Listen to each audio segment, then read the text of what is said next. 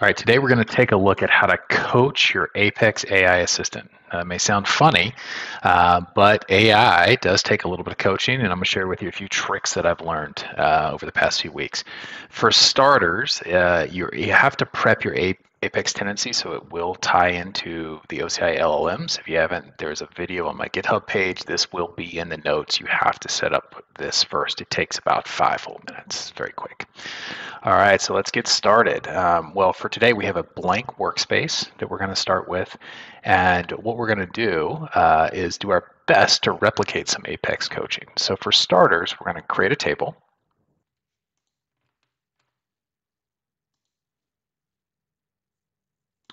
All right, next we're going to add some table comments, but not to everything.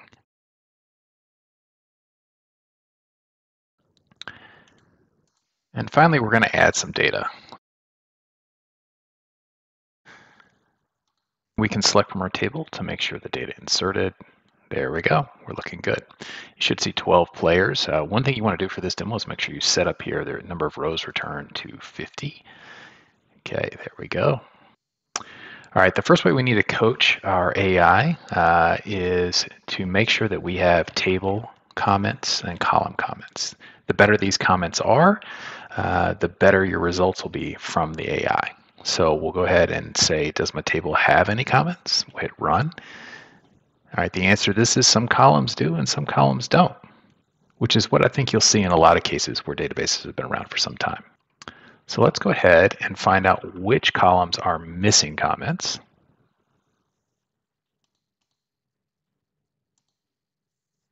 All right, we can see these columns. The first way we coach our AI is to kind of use it to generate meaningful comments on these columns. Now, kind of the cool thing here is I can say uh, I want to look at the SLG column and I want to create a comment that describes baseball slugging percentage, right? So we can give context of what the column is to the LLM. And it'll not only in, in the query builder mode generate the statement, but as you can see, it's also going out and using the embodiment of the AI. That's, that's the right calculation. So let's just make sure it runs. There we go. Now this LLM uh, that I'm using here, this is the Grok model. It's pretty smart. So I can say repeat for the SAC column and this is a sacrifice column, right? So it understands the abbreviation for me and generated it right away. Now in my examples, many of the column names are common abbreviation for baseball calculations. So we're going to say repeat above, uh, but for quite a few different columns that don't have comments. All right, we can see here that it generated it. Let's insert it. Now this will fail when I go to run it oh, it's got a reserved word. It, it doesn't know how to run it in here. So this is the next way you need to coach your AI. Sometimes this is, well, this is a correct statement, so I'd have to run them one-on-one, one at a time, but I don't really want to do that. So let's go ahead and say, write it so it runs all at once in Apex. Now we'll try again. And that worked. Now just to show that that worked, we'll go back up to the top here and we'll run our query again. And we can see we're down to only the primary key in the video column as null, which is good. That means we got everything else.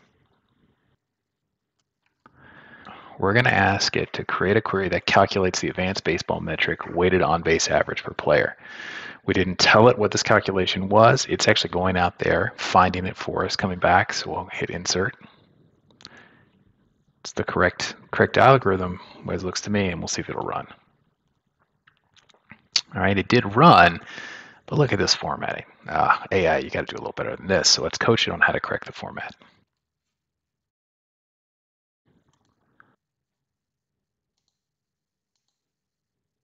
There we go. So now it adjusted to the three decimals that we typically see with any, any batting average in baseball. All right, now that our table comments are in place, we're going to clear everything out. We're going to clear the chat, so we're going to start over. It won't have the context, and we're going to ask it to, based on the number of games played by a player in the table, uh, create a nine-player lineup and forecast the number of runs that that lineup could potentially score based on the historic data in the table. We can see it came back. Get a little more space here. And hit insert. Let's see if this runs. All right, it ran, but man, I'd love to be on a team that could score 59 runs. So we need to coach it on the time frame that we want, which is a single game.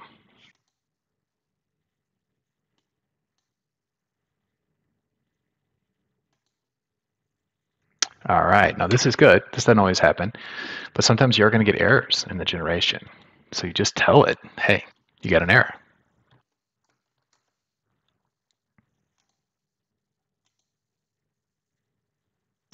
And it fixes it. There we can go. 6.6 runs a game. That's about what I would have expected. Now let's push it a little bit further. Let's say a player gets hurt. Old, old Brody got hurt. Let's adjust.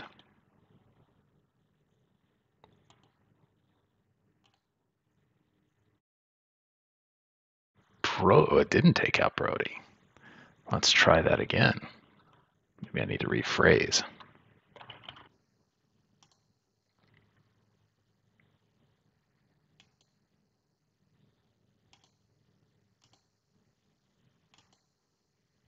And there we go. Without Brody, we only score 5.6 runs a game. Okay, so so far we've used everything in our query builder, uh, but there are actually two types of AI in the assistant here. So we're going to clear our chat and we're going to go over to the general assistant, okay, and we're going to use this next. Now the difference between the two, if you're not familiar, the general assistant doesn't have access to the, the DDL. It doesn't know the tables or the columns, uh, but it will generate code for you. So what we're going to show you here real quick is, is how you can kind of use the best of both worlds, okay, to coach your AI to generate stuff faster. So the first thing I'm going to do is go ahead and issue a query, uh, and I'm going to keep this open. This is one we did earlier, so we can see everything in our team stats table, all the column comments, uh, where they're not null. Okay. Uh, next, we're going to go out and prompt it to use this information.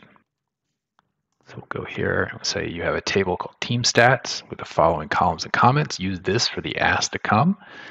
Let's go ahead and copy all this. And this is why we needed the 50 rows earlier.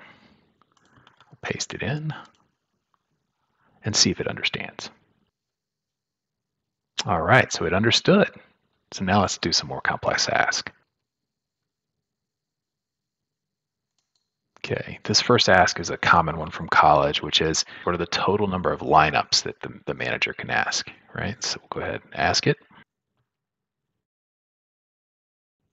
So generate a nice little code block here. We can see it's going to count through. It looks to find the total number of combinations of a nine-player lineup, and it tells us what it what it's trying to do. So let's insert the code, see if it runs, and it did but that combination is off. So we got to coach it just a little bit more.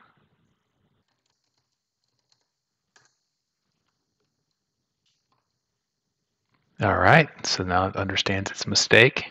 It changed the calculation, and we'll test it. There you go. This is actually correct. There are 220 combinations of lineups uh, with nine unique players if you've got 12 unique players on the team. Now we're really going to push it a little bit. So we are going to attempt to write a program that outputs the best nine-player batting lineup along with the player's average hits and RBIs based on balls, quality at bats, and runs scored from the team stats table. Remember, it's still got the context. We want to do the code block that aims uh, at uh, to put the best players uh, most likely to on base early in lineup, followed by the players most likely to hit them in with RBIs. As a coaching staff, you value speed and stolen bases and then quality at bats if the players are similar. After printing your batting average, write a brief summary in 350 characters or less uh, of your lineup and the expected number of runs to score in a nine inning game based on you, what you created, right? So we're asking it a bunch of stuff at one time. Let's see what it can do. All right, here's our logic that it created, PL SQL program. Pretty long, so we'll go ahead and insert it, and let's see if it runs. All in all, it got pretty close. Got all the columns right. Uh, the average didn't have the right formatting, but uh, and it doesn't have quite the right calculation here at the end, but we can still keep playing with it, coach it some more. All right, so let's get to double check some things and fix the formatting. All right, Let's see what came back.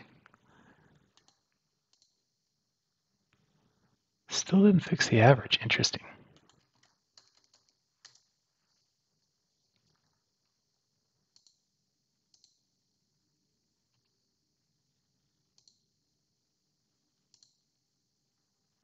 Well, sometimes the human really has to coach, right? So if you look over here uh, at this particular code block, the padding is off just by one.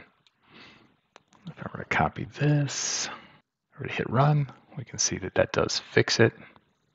So we need to tell it.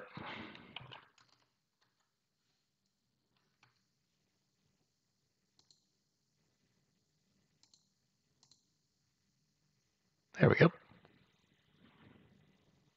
Now we'll continue to add some more complexity to the thing, the program. So we want to build another section that says the likelihood that the player will have an extra base hit.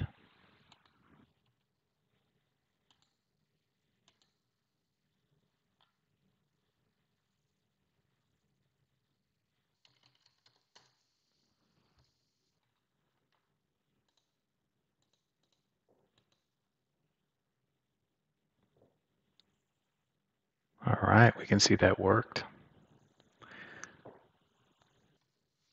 We'll go back and we're going to add base balls and Q8B to the batting lineup. Columns.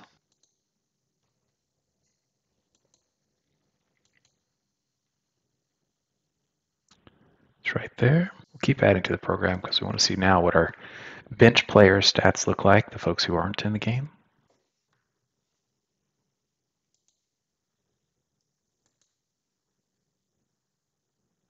Look at that. Added in our bench players. We'll go back and we want to adjust the lineup so that anyone batting less than 300 uh, is batting 6th to ninth.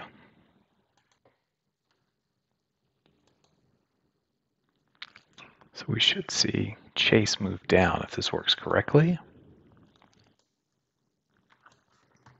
Let's fix the error.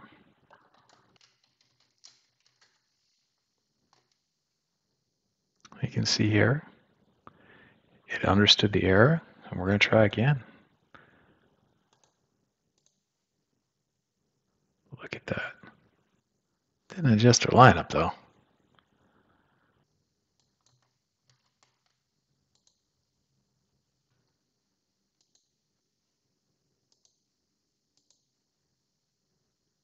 Well, now I got it correct. So overall here, if you analyze how much code is written, got a couple hundred lines of code. It's done a pretty good job. So let's ask it one more question. I can't answer that. I can't coach it through that one, but the answer is yes, we'll win.